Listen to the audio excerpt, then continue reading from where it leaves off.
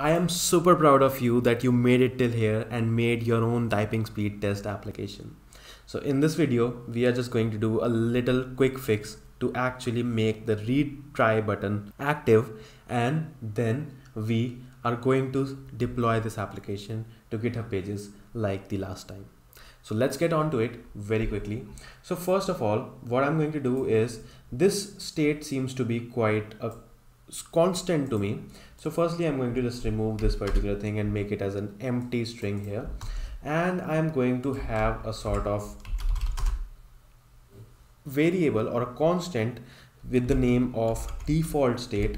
So I'm just going to call it default state and I am going to put this whole thing inside my default state just so that I can have a sort of uh, default state outside my uh, app component because everything here seems to be a constant only.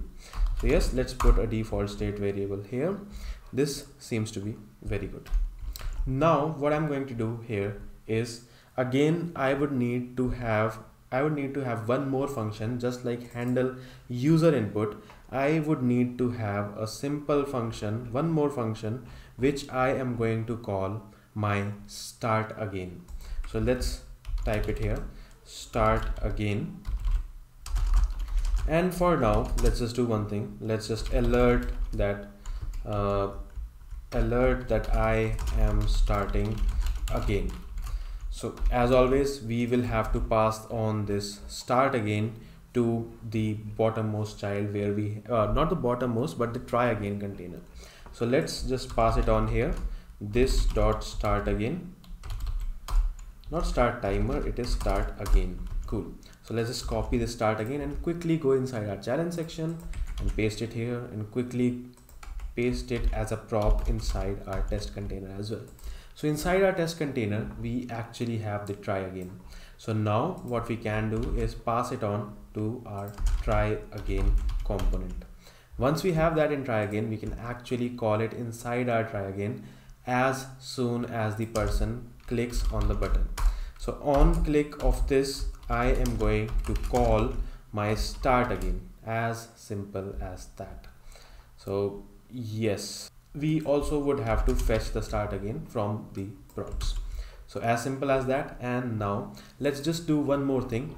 Let's move the timer to be total of two seconds so that we can actually show the try again screen pretty often so yes hmm. let's quickly refresh the page and the timer is of two seconds and I am going to type.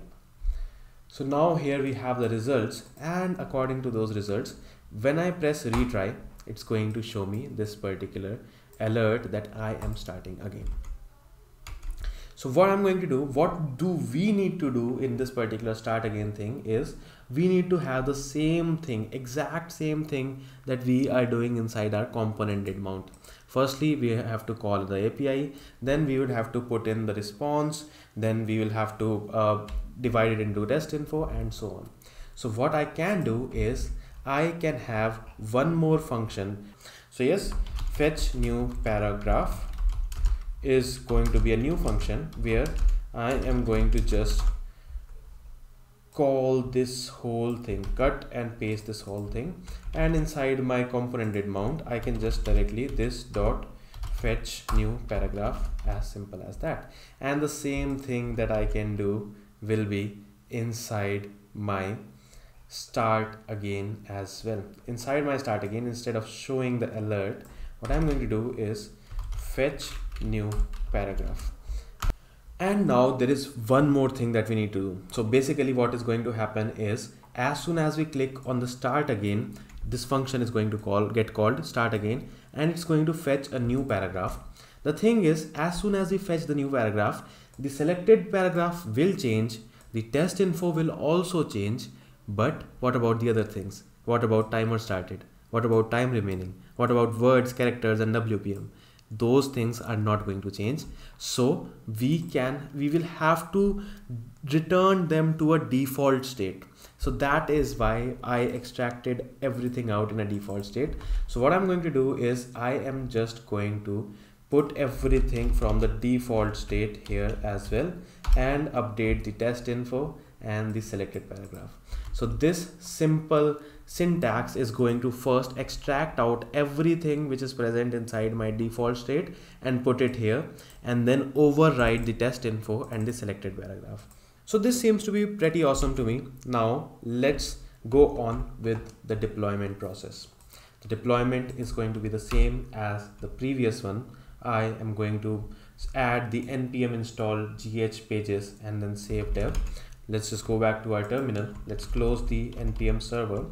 Let us close it and let us type npm install gh hyphen pages space hyphen hyphen save hyphen.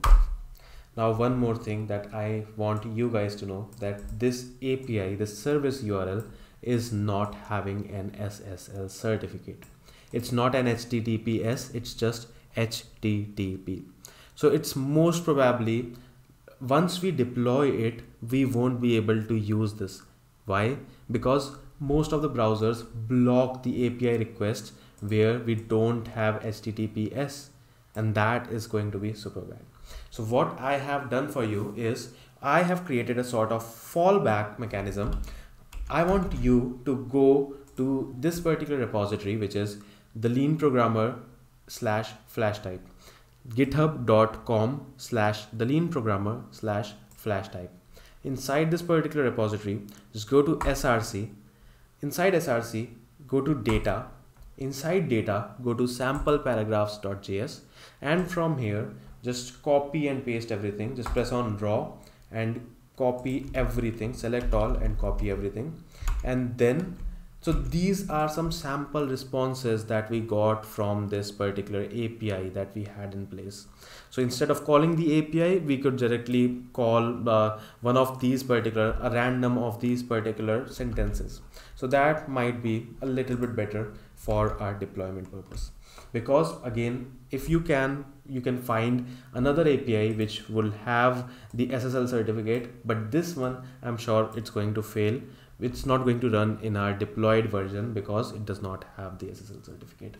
So yes, uh, what I want you to do is firstly go to SRC and create a new folder. I'm going to name it as data.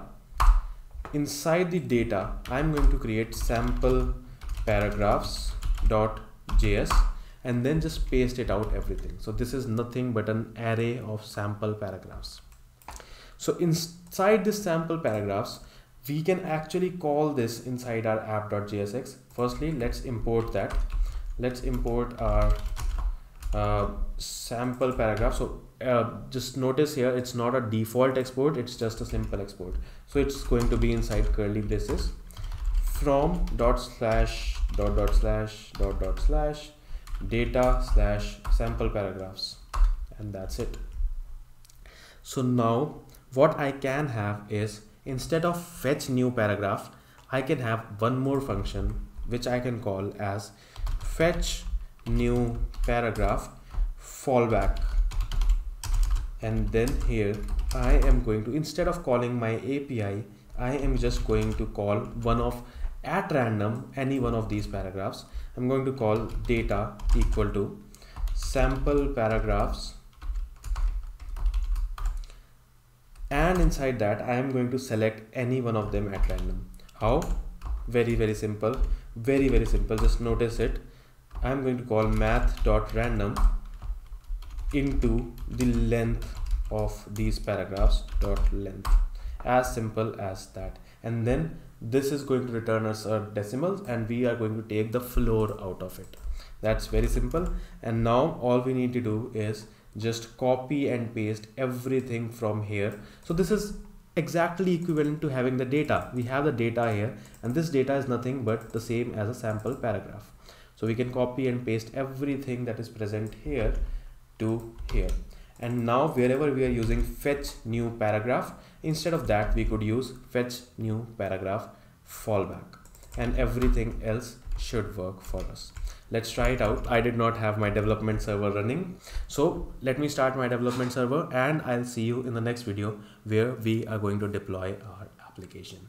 Bye bye. See you in the next video